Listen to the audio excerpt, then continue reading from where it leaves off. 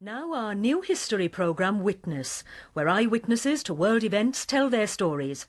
Today, a hostage remembers the 444 days he spent in captivity. It's 1979, six months after the Iranian Revolution has swept the Shah from power. November 4th started out as a dreary, rainy day, but was a day like any day in Tehran. There were marches going on all the time. You hear noises in the street and you hear Marg Bar America, death to America, or down with America. Barry Rosen was press attache at the U.S. Embassy. At about 10 in the morning, I heard noises outside, looked at the window. A group of hardline students were climbing over the fences of the embassy, and before I knew it, they were trying to pound on the door, and they did pound on the door. And my secretary, her name was Mary, I told her, no, don't open the door.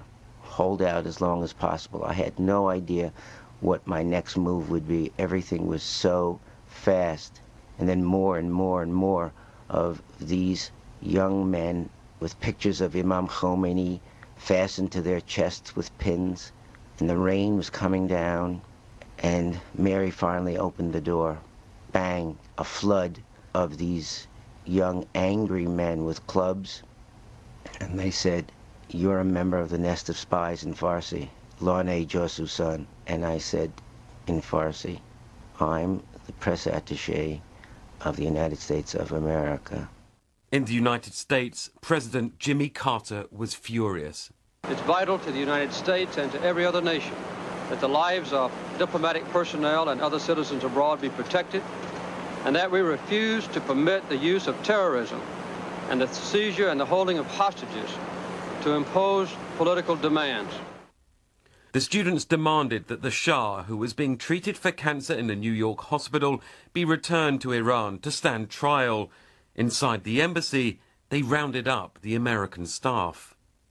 They stood there for a second and then they grabbed me, they tied my hands, and then they brought me and the rest of the of my staff over to the library.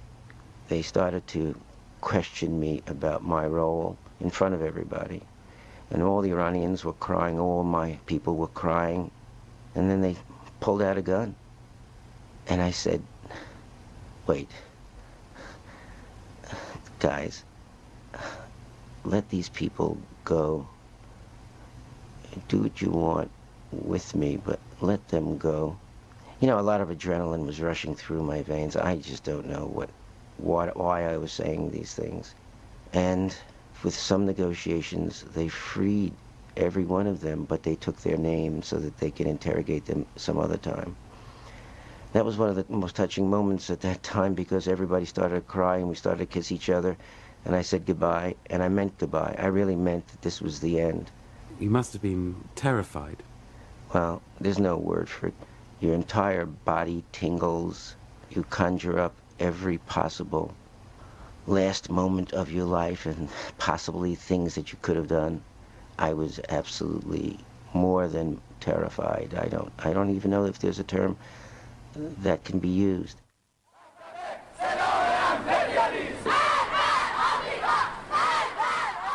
On the streets, there was huge support for the students. Crucially, they also got the backing of the supreme leader, Ayatollah Khomeini. Amid popular fears that the US wanted to reinstall the Shah, the 52 American hostages were seen as insurance against any US plot. Masoumeh Ebtekar was spokeswoman for the students at the embassy and went on to become Iranian vice president.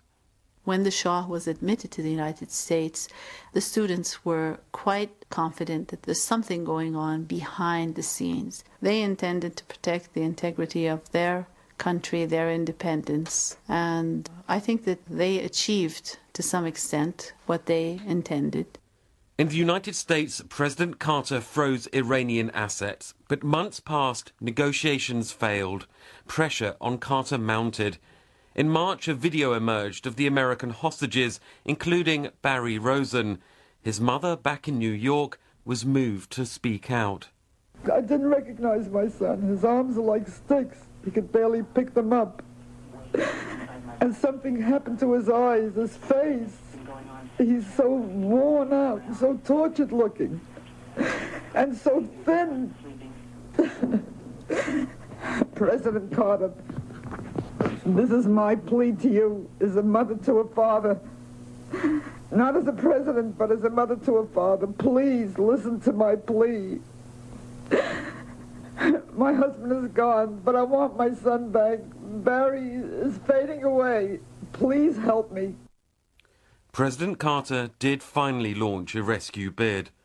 Late yesterday, I canceled a carefully planned operation which was underway in Iran to position our rescue team.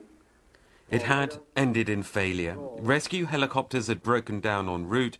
Aircraft collided over the Iranian desert, killing eight US servicemen. Back in Tehran, the interrogations had not stopped. I was brought downstairs, and they, in a theatrical manner, had everybody standing there about six or seven guards, all with masks on and automatic weapons. And my interrogator said, I want you to sign this admitting to your spying. And I said, no. And he said, I'm going to count from 10 to 1, and if you don't sign it, I'm going to blow your head off. 10 seconds is a long, long time. And they counted and counted, and I said to myself as they got to five, I don't want to die. I can't see how the, the government's going to hold this against me. I you know, wanted to be perceived as being as patriotic as possible for whatever reason. But by the time they got to two, I certainly said, yep, I'm signing. That drained the hell out of me. When they brought me back to my cell, I was out of it for a long time. But he says the worst part of his ordeal was that there was no end in sight. It was just a certain sense of agony, and I think somewhere in my brain I gave up. I couldn't sleep. My entire nervous system was on an alarm system. Every time I tried to sleep, something would wake me up and, and say, stay alert, stay alert. And I, you know, in retrospect, I always look at it and I say, yeah, that was my head saying to me, you're going to die. But if you're up, they can't kill you. How, how do you cope?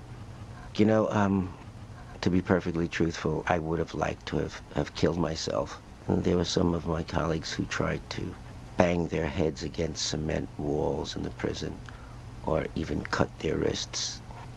I wanted to die. Every day I woke up, the sun rose. I said, oh no, another day here, here.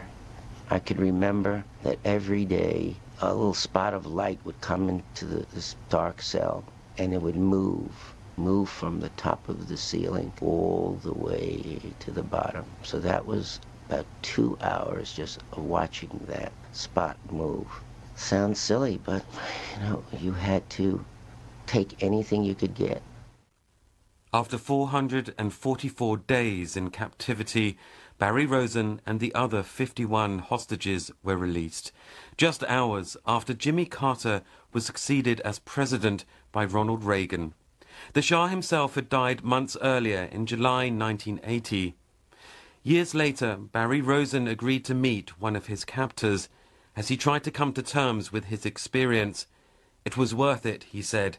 We saw each other as humans.